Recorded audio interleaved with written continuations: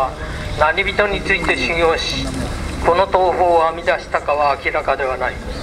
明治時代の初期に東京四谷に修正館道場を開いて本陣を育て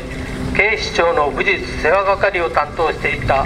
直参旗本の出身柴田江森がこの流派の中高の祖と言われている。その後柴田進柴田哲夫先生と受け継がれ現在柴田昭夫先生が鞍馬流18代宗家を伝承している鞍馬流の方はハマグリ刃の太い平地を使って行い気迫に富んだ発声をもって演舞するのが特徴である This movie giant.